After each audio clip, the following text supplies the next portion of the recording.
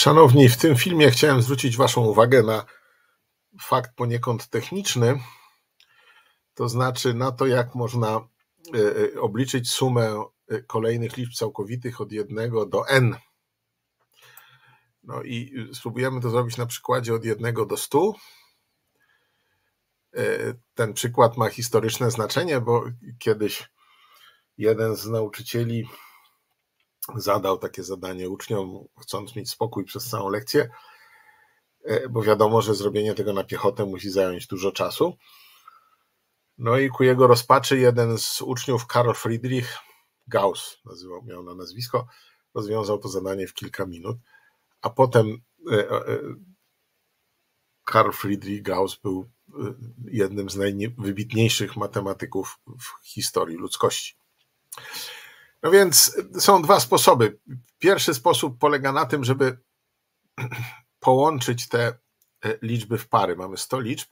50 jest od 1 do 50 i e, drugie 50 od 51 do 100. Więc dodajemy je w ten sposób. 1 dodać 100, 2 dodać 99, 3 dodać 98, no a potem 49 dodać 52 i 50 dodać 51. Takich par jest 50. Suma w każdej parze jest taka sama, równa się 101, no więc wynik to jest 50 razy 101, czyli 5050. No i jeżeli chcemy policzyć n, sumę n kolejnych liczb od 1 do n, e, to jeśli n jest parzyste, to postępujemy w taki sam sposób. E, e, postępujemy w taki sam sposób. Łączymy te liczby w pary par jest n przez 2, a suma w każdej parze jest n, równa się n plus 1. W związku z tym no, wzór na sumę e, jest n razy n plus 1 przez 2, czyli liczbę par razy wartość sumy w każdej parze. No a jeśli n jest liczbą nieparzystą, to możemy połączyć te pary trochę inaczej. No, do, do tej sumy możemy dodać jeszcze 0, prawda? No i jeżeli e, dodamy 0, to możemy łączyć te pary w ten sposób. 0 plus n, 1 z n-1, 2 z n-2. Teraz takich par jest n plus 1 przez 2, bo po dodaniu zera liczb jest n plus 1. Suma w każdej parze równa się n. No i znowu e, ta suma to jest liczba par n plus 1 przez 2 razy suma w każdej parze, czyli razy n. I to jest e, ten sam wzór. Dobrze.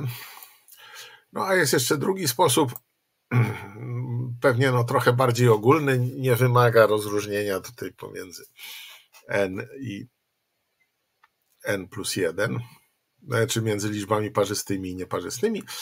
No, podwajamy tą sumę. Podwajamy tę sumę i liczymy ją najpierw w ten sposób, że liczymy ją od jedynki do n, a potem od n do jedynki. No, ta podwójna suma to jest y,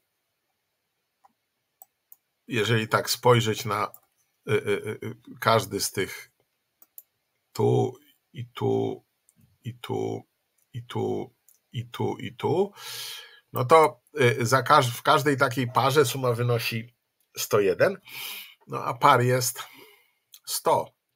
W związku z tym to, co tu jest po prawej stronie znaku równości, to jest 100 razy 101, a to jest 2 razy wartość y, y, tej sumy, na której nam zależy, no więc ta suma to jest 100 razy 101 przez 2, czyli 50 razy 101, czyli 5050, tak jak poprzednio. No oczywiście to y, podobnie jest do tego wzoru, który żeśmy sobie tutaj wyprowadzili. No bo jeśli policzymy to dla dowolnego przypadku, to taka podwojona suma wygląda w ten sposób.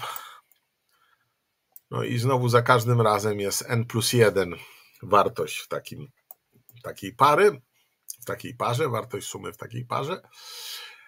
E, e, par jest n, czyli e, to, co stoi tu po prawej stronie znaku równości, to jest n razy n plus 1, a to jest podwojona suma, w związku z tym nasza suma to jest n razy n plus 1 przez 2. No i ten pożyteczny wzór często przydaje się jako pomocna pomocne narzędzie przy rozwiązywaniu e, różnego rodzaju zadań.